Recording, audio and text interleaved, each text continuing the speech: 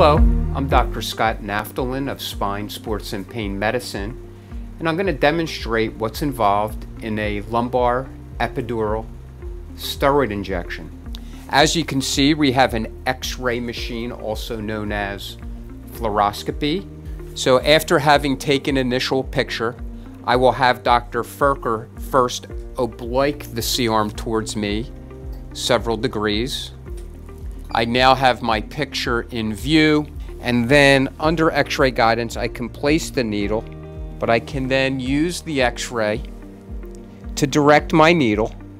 We're able to use a very small or fine gauge needle so meaning it's very small and narrow and then we advance the needle and if you can go into a PA Dr. Ferker we then move the x-ray machine to ensure appropriate needle placement and I will continue to move the needle under x-ray. And that little beep you hear is just the x-ray picture being taken. And once I have the needle in place, I then remove what's called the stylet out of the needle. I would generally then have syringes where I would inject the medication first, something called contrast that I can see on my x-ray monitor and make sure the medication is going to the targeted area, followed by the local anesthetic or numbing medicine and if required, steroid, also known as cortisone, into that particular area.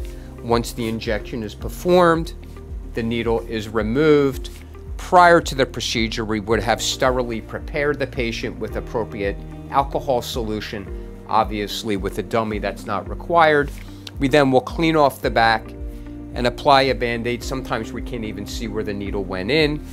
And then take the patient out to our post-care unit and make sure that there's been no reactions before they are discharged accompanied by a driver.